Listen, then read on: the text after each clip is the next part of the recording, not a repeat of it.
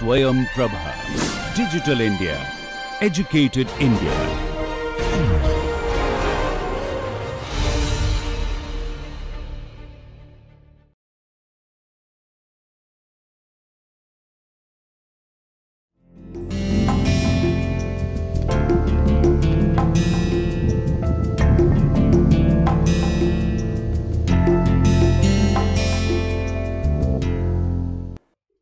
Hello friends, welcome back to the lecture series of Introduction to Science Fiction Studies. In the previous lecture, you have come across a lot of women and non-binary science fiction authors. In this particular uh, lecture, we will be looking at a different point of view. We will be looking from a different point of view and going to know about utopias and science fiction, how they gel together. So this is the current topic that we are going to discuss, science fiction and utopia. What is a utopia? Let me tell you a little small grammatical lesson over here. Utopia, the word starts with the sound of the uh, letter U. It will not take an an. It is not an an a utopia, a university, a utopia. Anyway, moving back to our uh, science fiction lecture, utopia is a kind of an imaginative place where everything is fine, everything is good, everybody is enjoying equal rights, everybody has their say, the government is kind, benevolent, compassionate, there is no criminal activity, all the uh, properties belong to everybody. Every uh, privilege is given to everybody. There is nothing of inequality in that particular area or land. So utopia is something imaginative. We have never had any kind of system in our entire world on all its history where everybody was happy. But this is the wishful thinking that we have that one day one very fine day, we will come to a place, we will wake up in a world where everybody has equal rights, everybody is following their duties, we are all free, we do not have any restrictions, we are free to follow our passion, we are free to follow our dreams. Wouldn't that be wonderful? Right. So moving on to the first point we have here today, historically alternative wishful construct. That is something Darko Suvin, editor of the famous magazine Science Fiction Studies, he mentions in his writings that historically alternative wishful construct. That is what utopia is. It is an alternative history. The world has a current timeline. This is how the timeline is proceeding. First, it was 5th century BC, then it was 1st century, then 2nd, then 3rd, then now we have 2000. We are on this year 2023. So this is how time progresses and this is everything that has happened. Now what if, let me tell you, if there is an alternate version of history, something which has not happened. For example, we have the world war starting in 1914. Suppose instead of 1914, the World War never happened. How wonderful a world that would have been.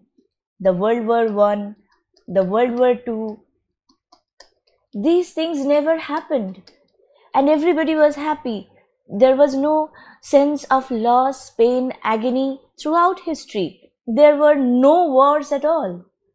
No wars we in our indian history we have the battle of panipat we have the battle of plassey we had the battle uh, uh, that the indian kings fought with the invaders from the outside of the country. All these battles had they not taken place wouldn't that be a wonderful uh, place time? Both. We can imagine and then how would india be today would India have an amalgamation of so many cultures? Things would have been very different for India. So, history changes how the world thinks, how the people behave, everything happens differently if one tiny incident of war or scientific development changes. For example, suppose we never invented electricity. Had we never invented electricity, then perhaps you might not be watching this lecture today. We might be sitting under a tree and delivering lectures, and the students would be gathered around us in a complete natural uh, environment everywhere. The teaching learning process would have been different. Had we never invented paper, then that would be different. The entire history of human race would have been different. So, historically alternative wishful, remember, it, this word is of utmost importance. Wishful thinking. It is not a thinking like, oh, I don't like to study. This is not a wishful thinking. Oh, had I not, uh, I don't want to read, I don't want to study, but all of a sudden, all the knowledge of the world comes into my head because I sleep with a book under my pillow. That is wishful thinking that yes, something good could have happened. Now, let me tell you one small piece of information. Science Fiction Studies is one of the best international journals that there is today. It publishes all the research materials, book reviews, and uh, other associated works related to science fiction. A place of ideal perfection, especially in laws, government, and social conditions. When you go to Merriam Webster Dictionary, you will have this definition. There is a place of ideal perfection, where idea is that there is we have an idea that India is democratic. We have an idea that India has actual representation of all the classes. But is it true? There are many backward classes, many people who feel that they do not have that kind of representation in the parliament. So we have an idea that India should be like this and we try to go towards that idea. But in actuality, there are a lot of differences. In reality, there are multiple variables which cannot be together working to uh, build that idea very efficiently. We are working towards it, but it is always a work in progress, especially in laws, government, and social conditions. Now, let me tell you about social conditions. Consider the concept of gender equality. If you open um, the UNESCO website, you will find something called the Sustainable Development Goals. I have referred to it multiple times in my previous lecture. You must be aware of the Sustainable Development Goals. Sustainable Development Goal number 5, there are a total of 17 goals. So, goal number 5 is gender equality. The first four are uh, no poverty, zero hunger, proper education, and one other point. The fifth goal is gender equality. All of us believe that all the countries should aim towards gender equality. All the genders should be treated equally. But is it a fact? Don't we see that in our everyday life, women and non binary people, we just talked about this in the previous lecture, they are suffering they are tormented. They do not get as many privileges as men get. So, this is gender inequality. But the idea that we are trying to move towards to is gender equality. So, that is an example of social condition. Law. Nowadays, we have umpteen number of laws related to men and women, but we do not have laws related to LGBTQAI plus communities. They do not have any legal representation. Whenever there is a law that is being made, everywhere it is written a man or a woman. But nowhere it is written transgender or um, let's say homosexual. None of these words appear in the legal context. So we are again aiming for an ideal situation where all the laws will have clauses related to all the individuals. Right. So that is a ideal perfection, a place of ideal perfection. Everything will be perfect. So now let us start with the beginning. This word, particular word, utopia, it was coined by Sir Thomas More in his book Utopia 1516. Thomas More was from England and that time the um, English government, it was uh, not a government, it was uh, the monarchy of the British throne the monarchy and the Church of England, they were having a lot of trouble uh, fighting each other. They are trying to gain power. Uh, the church is trying to dominate. The monarchy is trying to dominate the church. There was a lot of social unrest. In that situation, Sir Thomas More wrote this book, Utopia, see 1516. So, what is the meaning of that? In the book by David Seed, I have referred to this book multiple times. It's a very short introduction to science fiction. So, utopia is a hybrid term. As many critics have pointed out, meaning utopia, good place. So, eu, this particular phrase means, of course, it means uh, it is in Greek. Eu means good and Topia, this means place. Wherever you find the word topia, eu will understand that this means place. So, you means good and topia means place. Wherever you find this word topia, you will understand instantly that it means a place because there are other words other than utopia. We'll come to that. So there is another representation of the same concept, Otopia. O means, whenever you hear this word in Greek, it means no. Very interesting concept. Everybody thinks it's a perfect place. However, perfection never exists. It does not exist in real life. Can you say that this person is perfect? No. Everybody will have some kind of imperfection. If you say this computer is perfect, after one or two years, you will find all the flaws in that computer. It is lagging behind, it is showing signs of imperfection. So, no, nothing is perfect. So, if we think of an ideal situation like that, we will also understand that it is an idea and it does not really exist. So, the idea of utopia and utopia, they are somehow fused together that yes, it is an ideal situation, but it also does not exist.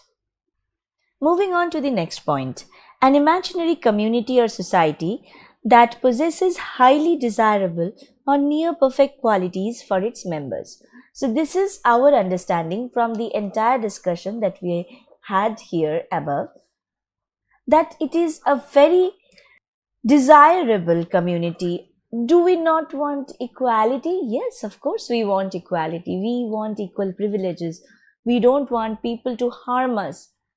So, that kind of idea it is very desirable for us. And of course, it is an imaginary community. It is a community of people where all sorts of people come together, all the sexes, all the genders, they come together and they live with equal privileges and opportunities. But this is a very important point. I will come back to it time and again. Very thin line of difference between utopia and dystopia. Now, if you have heard the last five minutes of the lecture very carefully, you will not have any trouble understanding the word dystopia because as we have talked, topia means place U means good and dys means bad. So, whenever we discuss dystopia, you will have to understand it is a bad place, a bad situation, bad community, bad atmosphere, bad environment. And what do we understand by bad? Bad means when a person does not have rights, not only the rights, but also does not have the right to buy food, does not have the right to visit a medical center, does not have the right to his own or her own body. that is a problematic situation. So that particular place we can call as dystopia. We will come forward. Uh, this particular lecture is directed towards utopia. The next lecture we will be discussing a lot of dystopias. Last point in the slide Gulliver's Travels by Jonathan Swift, 1726. In 1726, we have had particular book Gulliver's Travels. It was written in four parts. Four parts. A traveler who goes to four islands. Book 1 and 2 takes Gulliver to the island of the Lilliputs, gives in superiority, and the island of the Brobdingnags makes him a plaything. So when he visits the island of the Lilliputs, Lilliputs are small, tiny creatures. The human beings, they are reduced to a small size. I'm sure you must have watched some cartoons or animes related to this concept that a human being wanders off into the sea, goes to an island, finds that small tiny creatures are roaming around and they look exactly like human beings. All of these ideas have um, originated from Jonathan Swift's work, Gulliver's Travels.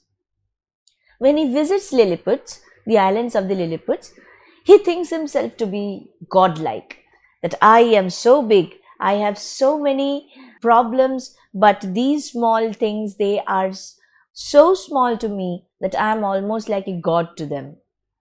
And he also talks about the um, parliament of the Lilliputs. It is the island is so well organized. Everybody has their equal share of property. Everybody has rights.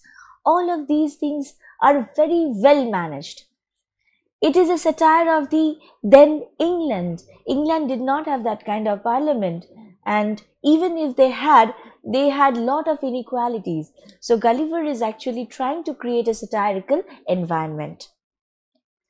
And then he goes and visits the island of the Brobdingnags, makes him a plaything. All Lilliputs are small, and in the island of the Brobdingnags, all the creatures are very, very big. All the island is full of giants, giant creatures, but they are also human beings. They also have a very different kind of government and system, and everything is fine.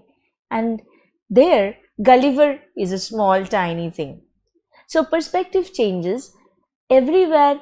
The, this idea of a very well formed community, a very well formed law abiding environment has been put forward by multiple authors on multiple instances.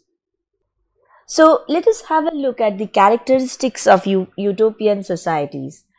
Number one, not number one, we can say that these are just characteristics. There is no hierarchy. Abundance, unlimited resources, eliminating poverty and scarcity. If it is a utopian society that we are talking about, there will be abundance. All the resources, there will be no shortage of food, there will be no shortage of fuel, there will be no shortage of water, there will be no shortage of basic amenities of life, everybody will be having enough. Of course, no poverty at all and no scarcity. I'm sure um, you are aware sometimes the uh, price of the vegetables go very high. Why? Because uh, the vegetables are coming in low quantities. There is more demand and less supply.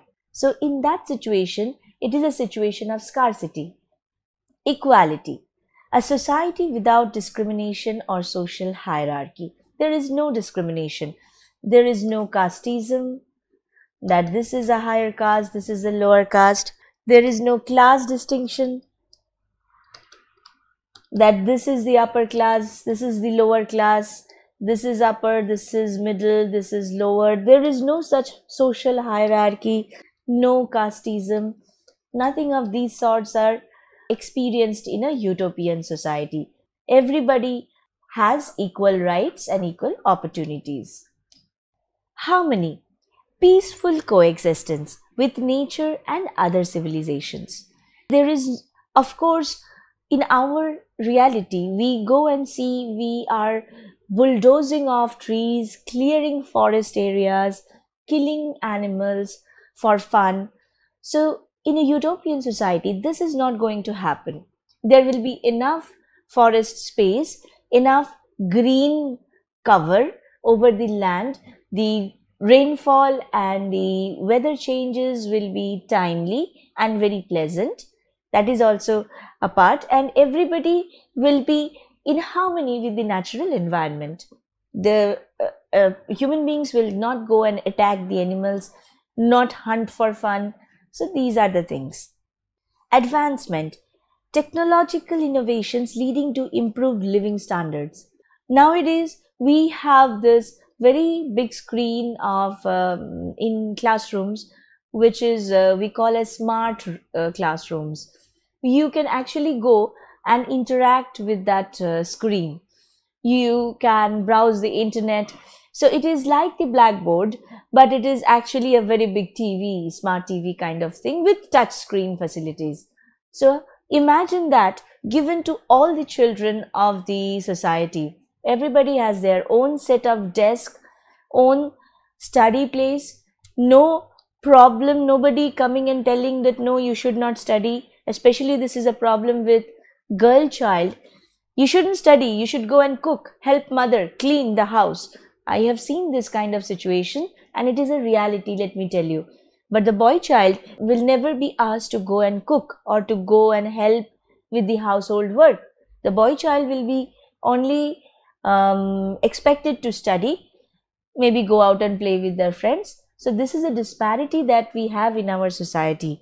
But with the technological advancement, every girl child, boy child, whatever gender that person belongs to, will have equal privileges, equal access to technology then that is an ideal situation we are talking about. Collective responsibility. This is almost a non existent concept.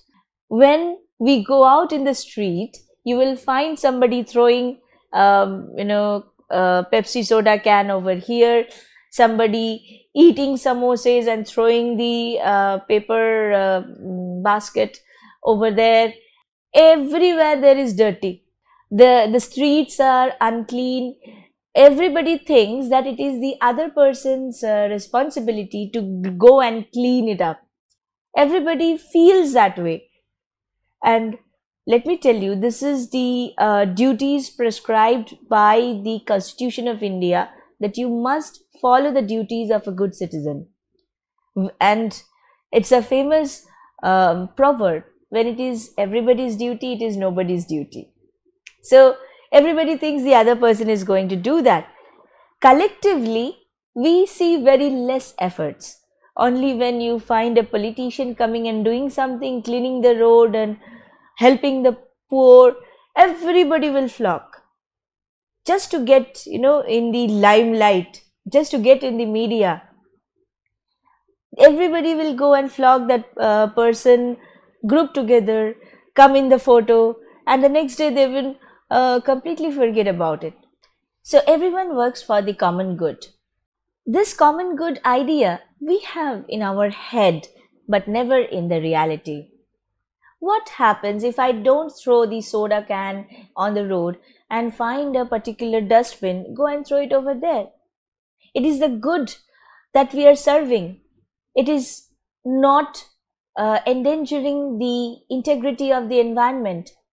I'm sure if you just Google uh, strangled sea creatures, you will find a lot of dolphins, uh, fish, and uh, sea creatures, turtles who are strangled. Strangled means somebody ties something around your neck and you uh, struggle to breathe. So, all those sea creatures are strangled by plastic that we dump in the ocean. It is um, the plastic that we use it is non degradable it cannot decompose. It will be there forever. So instead of dumping plastic outside it is our responsibility to collect all the plastic or polyethylene um, packets that we have and dispose it or give it to the government for recycling but we don't do that we just oh fine the plastic uh, the vegetable person has given us a plastic in that plastic we will collect all the household uh, dirt and uh, we will dispose the plastic somewhere on the road. So this is the situation. This is not acting towards common good. But if we think, if we wish that there will be a world where everybody will act towards the common good, what a beautiful world that would be. That is a utopia. The golden age of utopias, the 19th century. Of course, previously we saw that there were utopias that were being um, created, uh, starting with Sir Thomas More. But in the 19th century, many authors started coming forward with their ideas of utopia. Let us have a look at some of those beautiful ideas. This, the first one is Erewhon by Samuel Butler, again an English author. In 1872, he writes this particular book, a society in which it is a crime to fall ill and where machines have been abolished because humans feared they would take over. They means the machines would take over. So see, there are three situations. A crime to fall ill. You cannot fall ill. If you fall ill, you will go to prison. So it is a kind of imposition of the uh, on the human beings that you must stay healthy. You cannot fall ill. If you are falling ill that means you are not taking care of yourself. You might find that it sounds a little bit of a bad situation than good situation but let me tell you how the author has presented it. The author has presented it as it is your first and foremost duty to take care of your health in our society, in this present society, all we are doing is study, study, study, work, work, work, get, uh, earn a lot of money so that we can pay for our medical expenses. This is our society. But if instead of working, working, working and not taking care of health, if we just do enough work, we will be able to take care of our health and there will be no medical expenses thereafter. So that is the idea. And machines have been abolished. Every human beings are requested to work and contribute to the society. There are no machines because machines, everybody in that society believed that machines are something that can take over the human um, authority. So that is something we also have in today's world and we call it AI, rise of the AI revolution. That someday all the artificial intelligent robots, they will start gathering together, become a community and try to overthrow the rule of the human race. A strange manuscript found in a copper cylinder, 1888. So right after 1872 Erewhon, we have 1888 a strange manuscript found in a copper cylinder written by James De Mille. He is a Canadian author, as you can see, combines shipwreck with the found manuscript convention. It is a convention. Convention means a practice that has been going on with the authors that they, when they write a book, they don't say it outright that this is the story I'm giving. They say that, oh, I have found a manuscript somewhere in a library or in somebody's attic. This is not my writing. I've just found it there lying and I'm sharing it with you. This is the common practice at that time. So, uh, the previously we were discussing Gulliver's Travels. This is also a found manuscript convention. Here, describing a world near the South Pole where gender equality has been achieved. Again, we are commenting this book is commenting on the social convention, the community life, that there is a place in the South Pole where no human being has gone before and gender equality has been achieved. It is a utopia. There are another kind, uh, one we got to know about the found manuscript convention. There is another type of novels or writing that is sleeper wakes novels.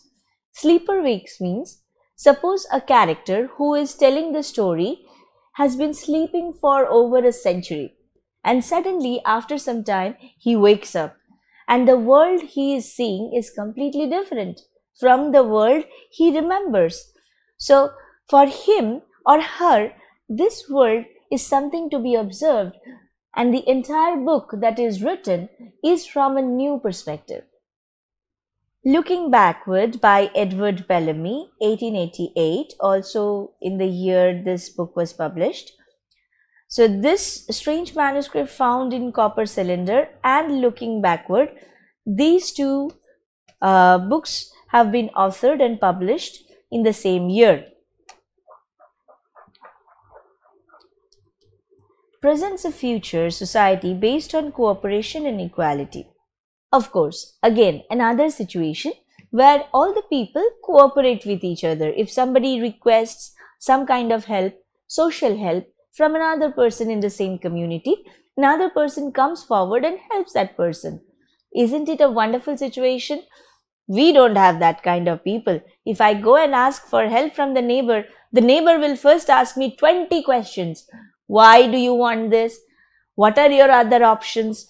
Why other people are not helping you? What happened to your relative? Oh, that relative can help you. Why is that relative not helping? So all this type of situation there is. But here, everybody is cooperating with each other. Another example, when you go uh, driving through a road and somebody hits your car, you come out and uh, you shout, shout at the other person and people forget whose fault it is.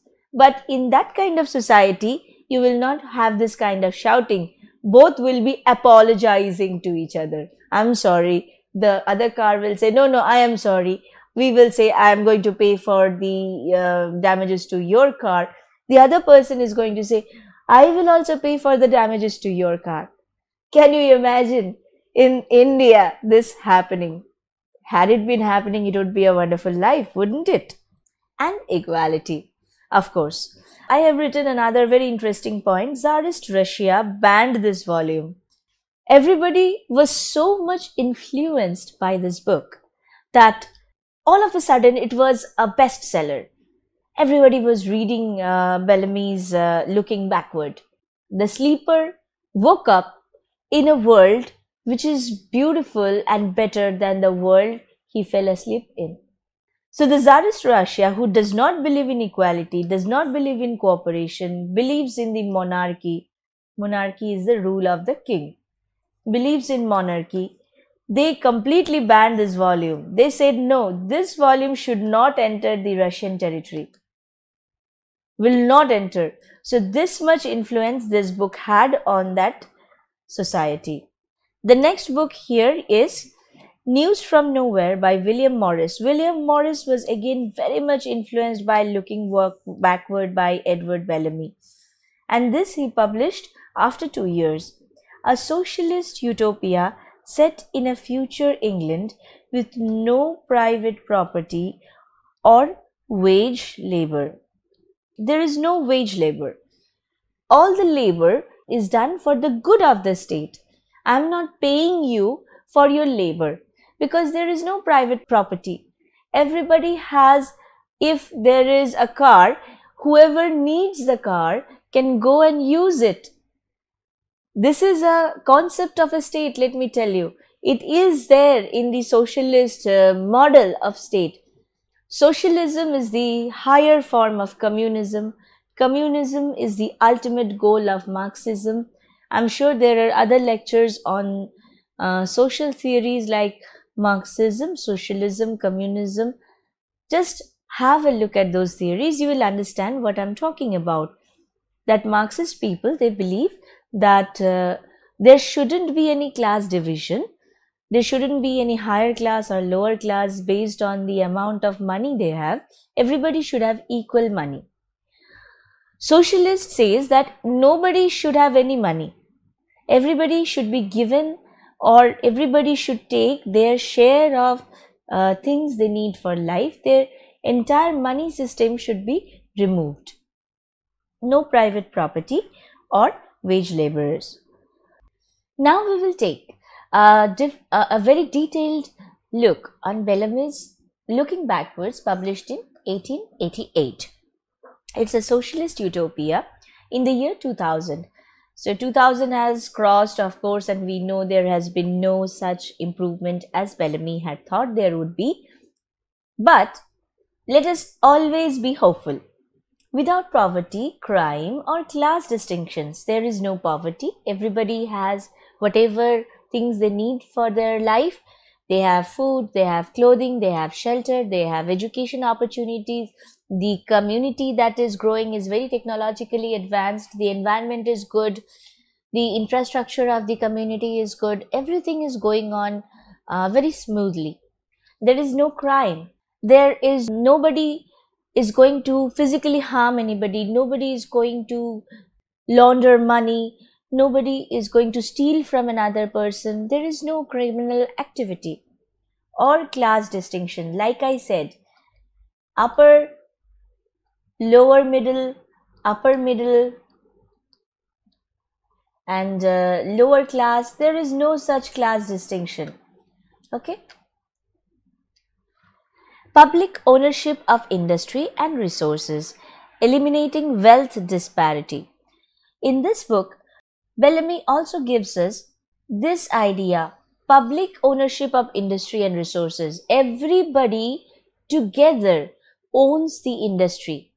What happens nowadays if you just go and uh, look into the kind of industrialists that India has, you will find names like the Tatas, the Birlas, the Ambanis, the Adanis, they are all industrialists. They are all capitalists and they have a lot of money because they're making profit. So in this looking backwards book by Bellamy, the society that he is showing, nobody has, uh, nobody personally owns an industry. The industry belongs to the people who work eliminating wealth disparity. The moment you stand uh, or go out in the street, you will find somebody who comes out of, uh, let's say, Mercedes Benz and somebody who is taking a cycle to work. There is a huge wealth disparity between people in our society. But imagine a community where there is no such thing as wealth disparity. Disparity means inequality. Citizens belong to an industrial army, work for the common good. We have discussed this already. Everyone is assigned a job based on their abilities and preferences. This is a very important point again. I am good at writing. I am good at writing. So I will be given the work which are related to writing. I will not be forced to do, uh, let's say, data entry work. I will not be forced to go and teach my work is to write, to create content. I am a very good um, musician. I will not be forced to go and work at an office. I will be uh, encouraged to move forward in the field of music. Equality is a core principle of the utopian society. Again, all receives the same standard of living and access to resources. Whenever we need medical help, there is the government hospital and there is the private hospital the government hospital all everybody is going there especially the ones who cannot afford a private hospital. The government hospital is in a very bad condition. Uh, there are um, more patients and less doctors. More patients less medicine. More patients less beds. More patients less facilities. And not all the people can afford a private hospital. They are uh, for the filthy rich people who can just go and get a uh, surgery done the very next day. In government hospitals, even if it is an urgent surgery, we have to wait for at least one month. They will give you a date that you come on this date. That day, you will be given, uh, you you can undergo this surgery. So is it an equality that we are uh, experiencing? No. The people with money, they are getting medical services right at the moment. But the people who cannot afford such kind of private services has to wait in a long queue. So in uh, Bellamy's looking backwards, there is no such privileges. There is no such inequality. Everybody gets their own share and uh, when they need it. Advanced technology powers the society labor more efficient. So the labor that people are giving is more efficient. The technology is more developed. Why? Because the person who likes engineering has gone to study engineering, has become an engineer. A person who likes music has not been forced by the parents to study engineering so that person can earn more money. Instead, the person who likes music has been encouraged to go to the music field and uh, the field of entertainment. There he excels there she excels and thereby she earns whatever money she can earn. And of course there is no private property here no private concept. So the labor is also very good and efficient. Benefits of automation and modern conveniences. Everything is automated the ticket system is automated. The uh, healthcare facilities are automated.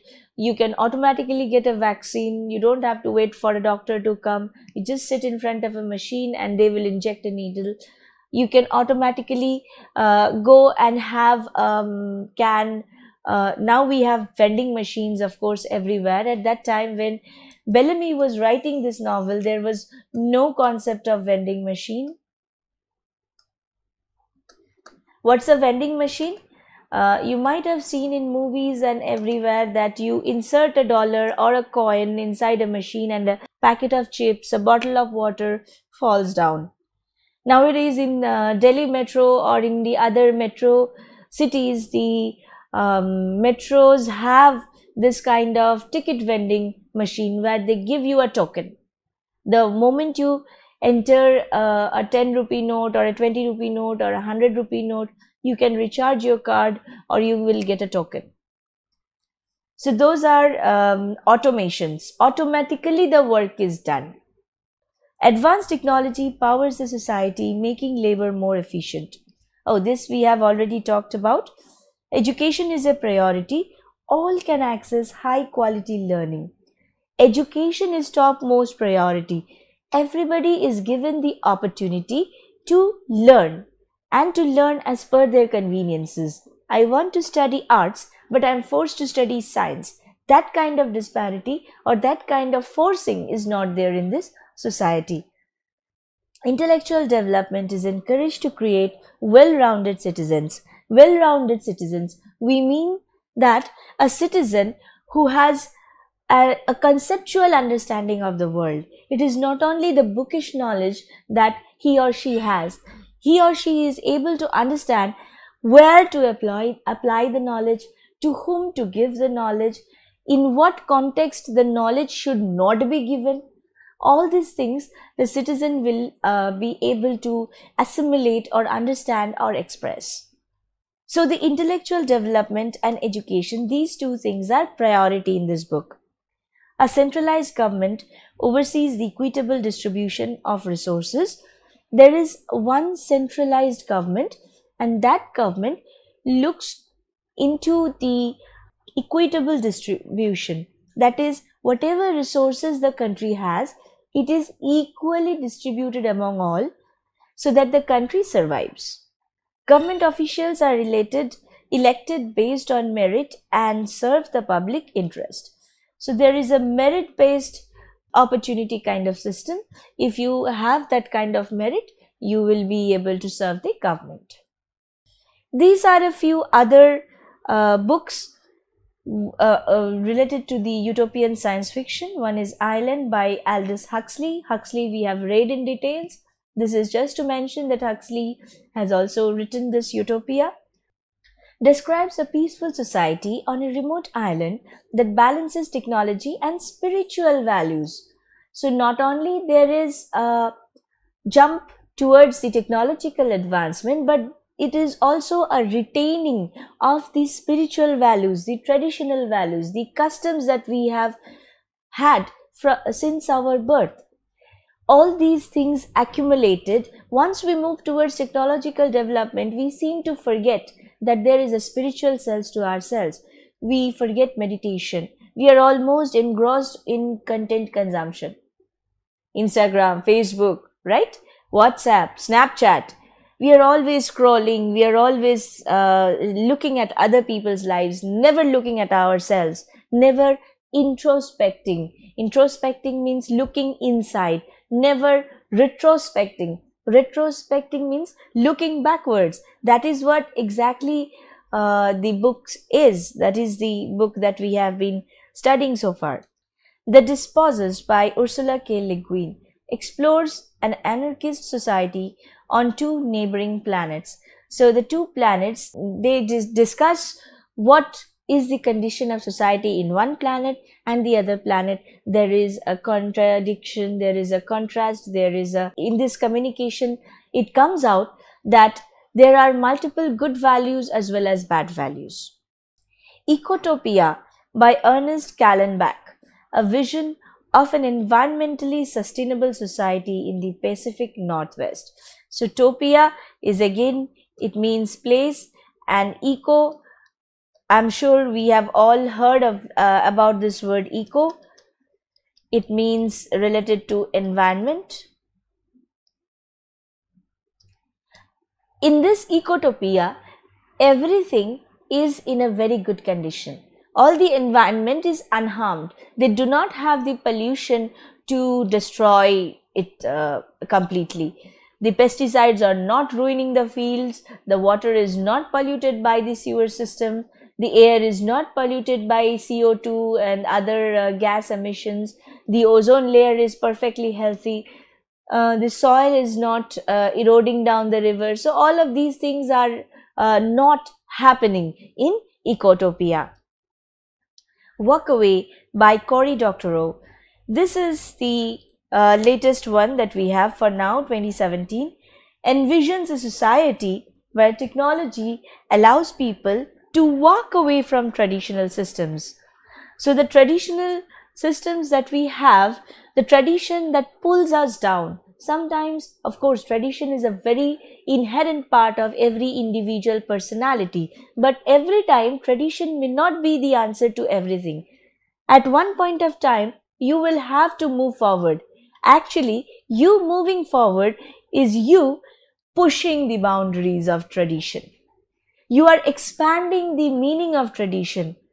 Because you want to go out of tradition that will become a tradition someday. So it is never that we walk away from tradition but we are actually expanding the boundaries. Isn't isn't it a wonderful thought that there will be a place where every individual has the opportunity to expand their boundaries and make other people follow their footsteps right? Now, the Wellsian Utopia, we have discussed the author H.G. Wells and his works so far. Here, Wells is considered as one of the you know best writers of utopia right after Edward Bellamy. A modern utopia 1905, a dualistic utopia where two worlds exist side by side. The traveler explores an utopian society the traveler explores a utopian society with advanced technology and a non utopian world with familiar societal issues. So, H.G. Wells writes a modern utopia in 1905. The World Set Free, 1940. Nuclear bombing destroys the old world order where poverty and war persisted. This is a very controversial utopia.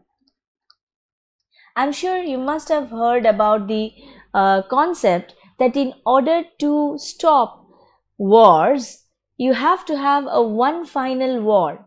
So, war to stop wars. One final war where you will destroy most of the population of the earth and everybody will start the civilization right from scratch. So, The World Set Free, written in 1914, the world is bombed by nuclear bombs and uh, half of the population is dead, half of the people are surviving, and they struggle together to build a civilization again. Men Like Gods, 1923. A group of Englishmen travel to another planet where they encounter their future possible selves and uh, there is no class and no government. This is again a wishful thinking. If we go to another planet, there is actually not alien species. That planet is having a different timeline. Timeline means we are the people in that planet. If I here, uh, suppose my name is K and K has gone to that planet, there is also another K in that planet. That K does not have a government which um, discriminates. That K does not live in a society which has any class.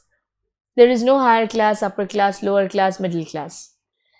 So the uh, entire future of K is in that planet and K is living in the present in this planet. Very interesting concept. The Shape of Things to Come, a futuristic novel, predicts a global conflict leading to a new utopian world order. Most elaborate description. So, this is the novel written by uh, H.G. Wells in 1933. This novel has the maximum attention to details. After the writing of um, uh, this particular book, looking backwards, everybody started to criticize the book. How can it happen? How can all of these things that you are saying in this book can happen? So we can say that this particular utopia Wells is writing is kind of a response to looking backwards, which was written in 1888 by Edward Bellamy. This utopia is a response to this.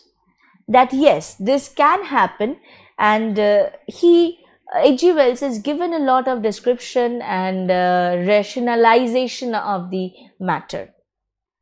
Feminist utopia. What are the features of feminist utopia? We have so far been discussing gender equality. Now we will look at it from the perspective of feminism. Not to worry, it is not a very big term. Feminism is only uh, women centric ideas. The world is uh, uh, patriarchal. The world has this idea that men are at the center of existence and women draw the idea of identity from the male members of the society. Feminism does the opposite that no, women are individual. That is the starting and ending point of feminism. So, the feminist utopias we will be having will, of course, have traditional gender roles challenged, address issues of patriarchy, sexism, and discrimination, women child, uh, the girl child sitting and uh, uh, doing household work, whereas the boy child going to school, this kind of discrimination is not going to happen. Gender equality will be there. Women and men are treated as equals in all aspects of life. Egalitarian relationships. Partner egalitarian means very highly platonic, uh, absolutely uh, perfect kind of relationships Partnerships and relationships are based on mutual respect and consent. Only there will be a mutual understanding between the two. There will be a very good, healthy atmosphere in the family or in the society. Reproductive freedom. Women have control over their reproductive choices. Nowadays, even in this world, you will find this statement floating in the air. After 30s, women should get married and have children. It is medically true, by the way. But if a woman does not want to do that, it cannot be anybody else's choice. But generally, the society pressurizes her that you must have uh, a child by the age of 35, otherwise, it, there will be complications. But let it be her choice. So, that is the idea that women have been fighting for so long. I am saying that 35, but actually, the idea where it started from was when women were married off at the age of 12 and they were forced to bear children by 13 and they were also forced to keep bearing children till 40 so that is a problematic situation we have uh, we have overcome now margaret cavendish's the blazing world published in 1666. This is uh, one of the earliest utopias, feminist utopias, a separate world approached via the North Pole that has achieved gender equality. Mary Griffiths, 300 years hence, which is published in 1836, experiences of a male time traveler wakes in a future, of course, again the sleeper wakes kind of convention. A sleeper who wakes up in a different world. Tremendous technological advancement along with gender equality. So 300 years hence has uh, the component of gender equality. Margaret Cavendish Cavendish's The Blazing World also has the component of gender equality. Sultana's Dream by Rokeya Sakhawat Hussain. A dream where Sultana travels through a land where women have achieved technical advancement and they dominate the men. So this is not what these two is about. They are talking about equality. But Sultana's dream is talking about disparity, is talking about inequality. She says that it should not be uh, patriarchy. Patriarchy is male domination. It should be matriarchy. Matriarchy is domination of the women. The women of the entire country, they will be dominating over the men. They will force the men to stay indoors. They will capture the men and put them in a place. All these things are going to happen. And let me tell you, there is a very good reason what uh, Rokeya Sakhawat Hussain gives is that men does most of the criminal activities.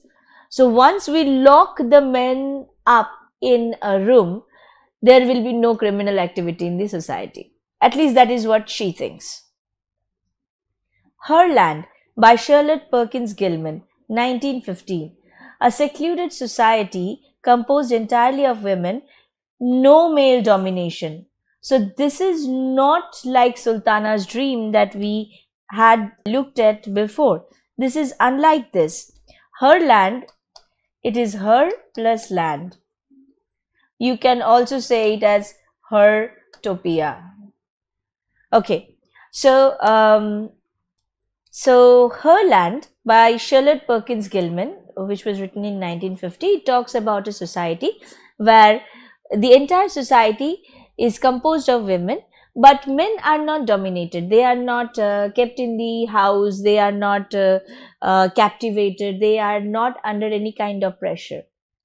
Women on the edge of time 1976 by marge piercy a mexican american woman struggling with poverty and institutionalization institutionalization stumble onto Women on the Edge of Time, 1976 by Marge Piercy, a Mexican-American woman struggling with poverty and institutionalization, stumbles onto alternate utopian realities. This is one of my favorite books, let me tell you.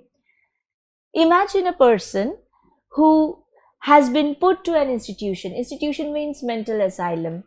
That person is suffering from some mental disorders and she is struggling with poverty Suddenly, she develops a world inside her head. She imagines that there is an alternate reality where she is not struggling with poverty, where she is perfectly healthy, and the world is perfect. So, it is a very creepy thought, though, but the psychological involvement of the author and the exploration of the theme is wonderful. The Gate to Women's Country, published in 1988 by Sheri S. Tepper, Set in a post-apocalyptic future, a matriarchal society where women hold power. So this is again something like Sultana's dream. But not like Her Land that is written by Charlotte Perkins Gilman. So we must remember these differences of ideas. Somewhere there is gender equality.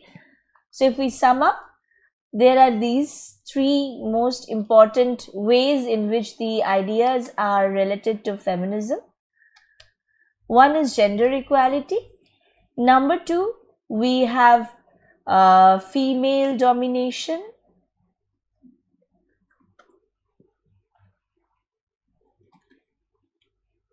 And uh, number three, we have male domination. Every work of literature is mostly related to number three, but the feminist utopia are related to either gender equality or female domination. So, gender equality is where women are dominating, but uh, the men are not dominated. So, there is a kind of equality. Okay. So, after this, we move on to some question answers that uh, you might practice in order to get the most out of this session. What do you understand by the term, by the term utopia? What do you understand by the term utopia? Name some science fiction utopias. You can easily go back to the slides that we have been discussing. There are lots and lots of examples. You can pick and choose. Name some literary works from the golden age of utopias. There was a golden age, in the 19th century, and during that golden age, many authors contributed to the field of science fiction utopia or utopia in itself. So take a look and pick some names and literary works. Identify the element of science fiction in Samuel Butler's Erewhon. Just go, um, uh, what you have to do here is that read the story of Erewhon. You will be, it is uh, just because it is 200 years old, it is available in the public domain. Uh, go to the internet, search for Erewhon, read the story if you like, read the summary and identify which features we can uh, um, consider as science fiction features. Discuss some key features of Bellamy's utopian science fiction. Bellamy's utopian science fiction, looking backwards, try to think of the key features education, society, politics, labor, work preferences, uh, efficient efficiency of the society. Look into those aspects and write down some answers. What do you understand by feminism and how is it related to science fiction? Feminism, you don't have to go into the entire history of feminist movement.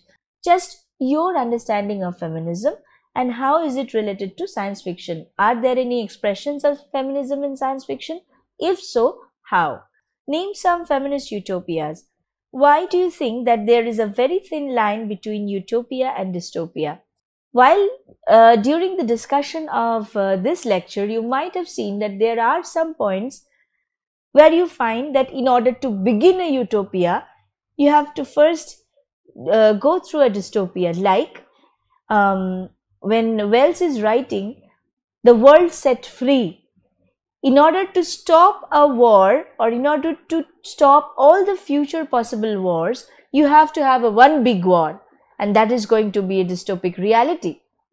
Discuss with examples similarities between themes and stories in the utopian science fiction realm, especially with reference to feminist utopias. Once you are able to answer all of these questions, we will be able to focus more on the dystopian section because the next lecture will be discussing dystopia with reference to our understanding of utopia.